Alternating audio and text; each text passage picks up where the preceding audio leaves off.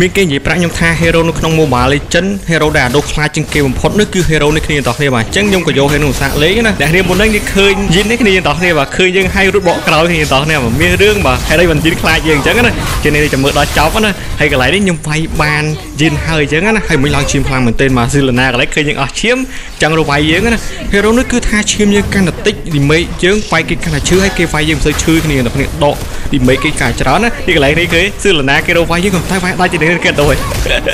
អត់វាយយើងដាច់ទេហើយកន្លែងខ្ញុំឃើញចង់អស់ឈាមហើយក៏ថយណាហើយអដូក៏គាត់ចង់អោទីវាយយើងគ្នាតោះនេះចាំមើលមួយណាឈ្នះមួយណាចាញ់ បឿកងង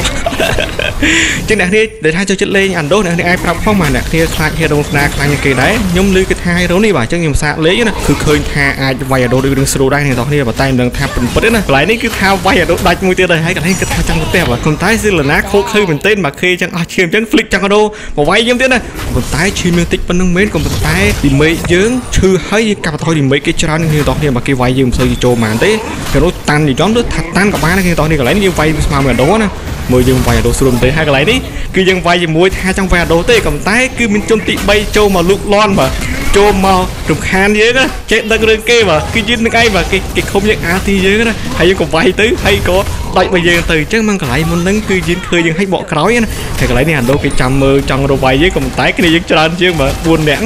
ហើយក៏ស៊ីលណាចង់សងសឹក មានអីដាច់មកយើងទៀតបាទហើយអាដូអីផងហ៊ានវាយយើងទៅគេឃើញឈាមយើងប៉ុណ្្នឹងឯងក៏ប៉ុន្តែ